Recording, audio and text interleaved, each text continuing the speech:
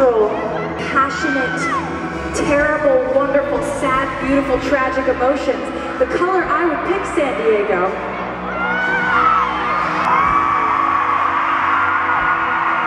would be red.